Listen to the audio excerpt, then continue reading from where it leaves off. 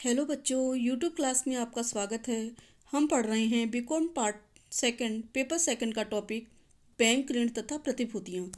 इस टॉपिक के अंदर आपने अब तक पढ़ा है, बैंक द्वारा ऋण देने की विधि, बैंक ऋण के सिद्धांत, ऋण या अग्रिमों के प्रकार, प्रभार निर्माण की विधियाँ, गारंटी या प्रत्याभूति या जमानत की विशेषताएँ गारंटी की आवश्यकताएँ, गारंटी के प्रकार, गारंटी के लाभ या महत्व और गारंटी तथा हानि रक्षा अनुबंध में अंतर। आज हम जानेंगे बैंक द्वारा गारंटी अनुबंधों में किन किन सावधानियों को देखना चाहिए, काम में लेना चाहिए या किन तथ्यों पर उसे विशेष ध्यान देना चाहिए, इसके बारे में हम विस्तार से पढ़ेंगे। गारंटी दाता की आर्थिक स्थिति की जानकारी। जिस प्रकार बैंक ऋण देते समय ऋण वापसी की सुरक्षा हेतु गिरवी रखे जाने वाले माल या अचल संपत्ति को स्वीकार करने से पूर्व उनकी अच्छी तरह से निरीक्षण एवं मूल्यांकन करता है, ठीक उसी प्रकार उसे गारंटर की आर्थिक स्थिति की पर्याप्त जानकारी होना ज़रूरी होता है। वैधानिक क्षमता। बैंक को गारंटी करता कि अनुबंध करने की वैधानिक क्षमता पर ही गारंटी का अनुबंध करना चाहिए। यदि उसके पास में अनुबंध करने की वैधानिक क्षमता नहीं है तो उसका अनुबंध ही अवैध हो जाएगा। क्योंकि पागल, अव्यस्क और दिवालिया तथा ऐसे ही अन्य असक्त श्रम व्यक्ति अनुबंध करने के लिए वैधानिक रूप से अयोग्य होते हैं और उनके द्वारा किया गया अनुबंध कानूनी रूप से अवैध और बेकार होता है। इस प्रकार विभिन्न वर्गों के व्यक्तियों तथा संस्थाओं से गारंटी अनुबंध में भी उनकी वैधानिक योग्यता तथा क्षमता की जानकारी होना बैंक के लिए आवश्यक है। जैसे इनमें कुछ जो पक्षकार हैं वो इस प्रकार हैं। विवाहित महिला की गारंटी करने की वैधानिक क्षमता तो होती है, किंतु मूल ऋणी द्वारा त्रुटि की दिशा में केवल महिला की व्यक्तिगत संपत्ति ही दायित्व पूर्ति के लिए उपयोग में की जा सकती है। यानी उस महिला का जो व्यक्तिगत स्त्री धन है, उसका ही उपयोग गारंटी की क्षतिपूर्ति के लिए किया जा सकता है, दायित्व पूर्ति के लिए किया जा सकता है। विवाहित महिला पर उसके किसी रिश्तेदार की गारंटी में अनुचित दबाव भी हो तो भी अनुबंध व्यर्थ हो जाता है। अतः ऐसी स्थिति में बैंक को महिला की गारंटी स्वीकार करते समय महिला से यह लिखित प्रमाण पत्र ले लेना चाहिए कि वह अनुबंध हेतु स्वतंत्र रूप से सहमति दे रही है, किसी के दबाव में नहीं है। साझेदारी में एक साझेदार भी फर्म की ओर से गारंटी दे सकता है। किंतु यह गारंटी तभी वैध और मान्य होती है, जबकि गारंटी देना फर्म की सामान्य कार्य हो और फर्म द्वारा गारंटी देने के लिए ऐसे साझेदार को अधिकृत कर रखा हो, अन्यथा गारंटी जो है वो व्यर्थ हो जाएगी। लिखित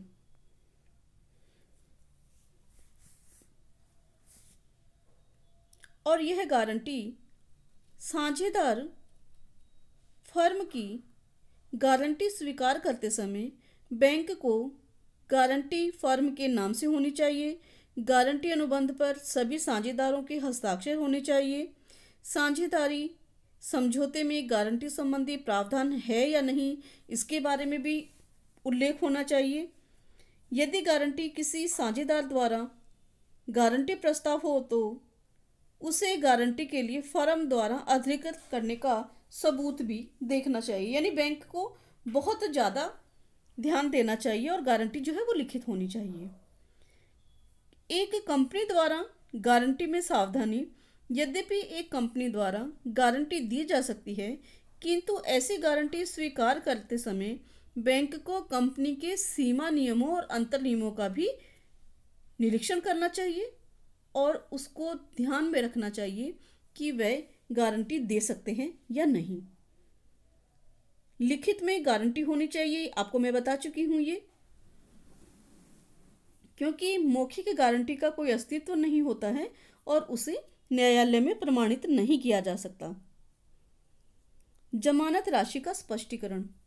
गारंटी की राशि का स्पष्टीकरण होना चाहिए बैंक को गारंटी अनुबंध में यह स्पष्ट रूप से उल्लेख करना चाहिए कि जमानत देने वाला अनुबंध की समस्त दायित्व राशि के लिए जिम्मेदार होगा या उसके किसी एक भाग के लिए। ऐसी स्थिति में अधिकतम जमा राशि स्पष्ट उल्लेख होनी चाहिए। जमानत का प्रकार? हमने आपको बताया था कि जमानत चालू जमानत और विशिष्ट जमानत दो तरह की होती है। ये जमानत किस प्रकार की दी गई है? उसका भी उल्लेख करना चाहिए। अतः बैंक को अनुबंध में यह स्पष्ट करा लेना चाहिए कि जमानत किस प्रकार की है और कितनी अवधि की है। अनुबंध में कोई महत्वपूर्ण परिवर्तन? बैंक को गारंटी अनुबंध में किसी भी प्रकार के महत्वपूर्ण परिवर्तन होने की दशा में उस पर सभी गारंटी दाताओं के हस्ताक्षर करा लेने चाहिए। अन्यथा भारतीय अनुबंध अधिनियम अठारह सौ बहत्तर की धारा 133 के अंतर्गत गारंटी दाता की बिना सहमति से कोई भी जोड़ या परिवर्तन होने पर वह जमानत के दायित्वों से मना कर सकता है। अवधि पार ऋण। यदि ऋण की अवधि पार हो गई है ओवर ड्यू हो गया है अथवा गारंटी की निर्धारित अवधि समाप्त हो गई है तो उसके बाद बैंक को ऋण स्वीकृत नहीं करना चाहिए, क्योंकि फिर जमानत भी समाप्त हो जाती है। पृथक या सामूहिक गारंटी। बैंक प्राय ऋण देते समय ऋणी से एक से अधिक व्यक्तियों की जमानत की बात करता है। ऐसी स्थिति में अनुबंध में यह स्पष्ट होना चाहिए जितने जमानत दाता हैं, उनका बैंक के प्रति सामूहिक दायित्व है या व्यक्तिगत दायित्व है? यदि ऋणी बैंक को ऋण चुकाने में असमर्थ हो जाए तो ऐसी स्थिति में बैंक जमानत दाता के दायित्व का निर्धारण किस प्रकार करेगा, यह भी स्पष्ट होना चाहिए। व्यक्तिगत जमानत में बैंक को किसी भी एक व्यक्ति से राशि वसूल करने का अधिकार होता है। जबकि सामूहिक जमानत में सभी जमानतदाताओं से एक साथ राशि वसूलने का अधिकार होता है, जिससे राशि वसूलने में अत्यधिक कठिनाई होती है। इसलिए बैंक व्यक्तिगत जमानत ही स्वीकार करता है तथा ऐसी स्थिति में भी प्राथमिकता क्रम पूर्व में निश्चित कर लिए जाते हैं ताकि बाद में किसी प्रकार का कोई विरोधाभास न हो। अवधि। यदि बैंक चालू जमानत पर ऋण लेता है, उसमें अवधि का निर्धारण होना चाहिए। इससे जमानत दाता और बैंक दोनों में कोई विरोधाभास पैदा नहीं होता है। मूल ऋणी की मृत्यु पागल या दिवालिया होने पर। मृत्यु होने पर ग्राहक का खाता बंद हो जाता है और जमानत भी समाप्त मानी जाती है। ऐसी स्थिति में बैंक मृतक ऋणी के उत्तराधिकारियों से ऋण भी वसूल करे तथा वसूली न होने पर जमानत दाताओं से वसूली की कार्यवाही कर सकता है। ऋणी के दिवालिया या पागल होने पर ऋण की वसूली की कार्यवाही करनी चाहिए। ऋणी के पागल या दिवालिया होने पर खाता बंद माना जाता है, जमानत जो है वो समाप्त मानी जाती है। उसके बाद के व्यवहारों के लिए गारंटर जवाबदेह नहीं होता है। बैंक के संगठन या स्वरूप में परिवर्तन होने पर जमानत समझौते समाप्त माने जाते हैं। अतः बैंक को अपने संगठन स्वरूप में परिवर्तन करने पर जमानत दाताओं से पुनः नए अनुबंध प्राप्त कर लेने चाहिए।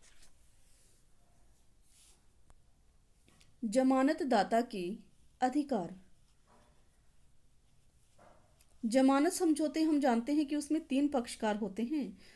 तो इसमें मूल ऋणी के विरुद्ध अधिकार, सह जन्मदाता के विरुद्ध अधिकार और बैंक के विरुद्ध अधिकार। इनके बारे में हम चर्चा करेंगे। मूल ऋणी के विरुद्ध अधिकार। जमानतदाता को ऋण के विरुद्ध वे सभी अधिकार प्राप्त होते हैं, जो बैंक को प्राप्त होते हैं। जमानतदाता कानूनन रूप से वह राशि ही मूल ऋणी से प्राप्त करने का अधिकारी है, जो उचित है। अर्थात इसके आधार पर जमानतदाता ऋणी से कोई लाभ प्राप्त करने का अधिकारी नहीं होता है। सह प्रतिभू या सह जमानतदाता के विरुद्ध अधिकार? यदि बैंक एक ऋणी के विरुद्ध एक से अधिक व्यक्तियों को प्रतिभूति लेता है तो सभी प्रतिभू को सह प्रतिभू या सह जमानतदाता कहा जाता है। यदि ऋणी बैंक के दायित्व चुकाने में त्रुटि करता है तो वह दायित्व की राशि सभी जमानतदाताओं से बराबर अंशों में चुकाने के लिए दायित्व है। लेकिन यदि पूर्व में ही दायित्व का अन्य अनुपात निश्चित किया गया है तो उस अनुपात में यह दायित्व ऋणी का चुकाया जाता है। बैंक के विरुद्ध अधिकार। बैंक के विरुद्ध अधिकार भी तीन तरह से होते हैं। प्रतिभू से जमानत का समझौता होते ही बैंक ने ऋणी से जो जो भौतिक प्रतिभूति ली थी, यदि बैंक जमानतदाता की बिना स्वीकृति के पूर्व ही ऋणी को लौटा देता है या छोड़ देता है तो जमानतदाता प्रतिभू के रूप में रखी गई संपत्ति की राशि की सीमा तक अपने दायित्व से मुक्त माना जाएगा। यानी यदि पहले से कोई उसने संपत्ति रखी है और वो बैंक ने लौटा दी है तो उस संपत्ति की राशि तक वह गारंटर अपने दायित्व से मुक्त हो जाता है। जमानतदाता बैंक से ऋणी की आर्थिक स्थिति के संदर्भ में सभी जानकारी प्राप्त करने का अधिकारी होता है। समझौते के समय जमानतदाता के द्वारा पूछे जाने के बाद भी यदि बैंक तथ्यों को छुपाता है या मौन रहता है तो जमानतदाता उत्पन्न दायित्व के लिए बैंक के प्रति उत्तरदायी नहीं होगा तथा अपनी हानि को बैंक से वसूल करने का अधिकारी भी होगा। चालू जमानत को रद्द करना। कोई भी जमानतदाता चालू जमानत की स्थिति में बैंक को लिखित में सूचना देकर भावी सौदों के लिए अपनी प्रतिभूति समझौता रद्द कर सकता है। ऐसी स्थिति में जमानतदाता केवल उस समय तक दायित्वों के लिए जिम्मेदार होगा। जमानतदाता के दायित्व। बैंक के प्रति जमानतदाता का दायित्व तभी उत्पन्न होता है जब मूल ऋणी दायित्व तो पूर्ति करने में असमर्थ हो। अर्थात यहाँ जमानतदाता का दायित्व गौण होता है, न कि प्राथमिक। जन्म, यहाँ देखना है कि जमानतदाता के दायित्व की मुक्ति किन किन दशाओं में एक गारंटर फ्री हो जाता है अपनी ड्यूटी से। कैसे? ऋणी द्वारा वचन को पूरा करना। जमानतदाता ने, जिसके लिए बैंक को जमानत दी है, यदि वह वचन ऋणी पालन कर लेता है तो वह उससे मुक्त हो जाएगा। अनुबंध के खंडन द्वारा, यदि जमानतदाता अपने अनुबंध को समाप्त करने की लिखित तो सूचना बैंक को दे देता है तो जमानतदाता भावी व्यवहारों के दायित्व से मुक्त माना जाता है। यह बात चालू जमानत की स्थिति में लागू होती है। विशिष्ट जमानत की स्थिति में नहीं। विशिष्ट जमानत के अंतर्गत एक बार उत्तरदायित्व उत्पन्न होने के साथ ही तब तक बनी रहती है, जब तक कि वह विशिष्ट प्रयोजन पूरा नहीं हो जाता। मूल ऋणी को मुक्ति मिलने पर, यदि मूल ऋणी को बैंक किसी समझौते के तहत दायित्व से मुक्त कर देता है तो जमानतदाता का दायित्व भी अपने आप समाप्त हो जाता है। प्रतिभू की मृत्यु होने पर, यदि जमानतदाता की मृत्यु हो जाती है तो भावी व्यवहारों के लिए जमानतदाता का दायित्व स्वतः ही समाप्त हो जाता है। इस स्थिति में बैंक को मृत्यु की सूचना दी गई है या नहीं, इसका कोई महत्व नहीं रहता है। लेकिन जमानत दाता समझौते में बैंक इस बात की व्यवस्था कर लेते हैं कि जमानतदाता का दायित्व मृत्यु की दशा में तभी से समाप्त माना जाएगा। जब इससे बाबत सूचना दी जाएगी तो ऐसी स्थिति में सूचना देना अनिवार्य है। समझौता शर्तों में परिवर्तन। यदि बैंक व ऋणी अपने मूल अनुबंध स्वरूप में परिवर्तन करते हैं तो जमानतदाता शर्त परिवर्तन के समझौते के बाद के व्यवहारों के लिए उत्तरदायी नहीं होगा। यदि मूल शर्तों के परिवर्तन पर भी जमानतदाता की सहमति ले ली गई है तो जमानतदाता का दायित्व लगातार बना रहेगा। बैंक ऋणदाता की किसी चूक, भूल से गारंटर के अधिकारों में कमी यदि ऋणदाता बैंक ऐसा कोई कार्य चूक या भूल कर देता है, जिससे जमानतदाता के अधिकार में कमी आती है या विपरीत प्रभाव पड़ता है तो जमानतदाता अपने अधिकारों की कमी की सीमा तक अपने दायित्व से मुक्त हो जाता है। जमानत अनुबंध के अवैध होने पर गलत, झूठा या मौन द्वारा कपट से प्राप्त की गई जमानत अवैध मानी जाती है। यह तथ्य अवैध सिद्ध होने पर जमानतदाता अपने दायित्व से स्वतः ही मुक्त हो जाता है।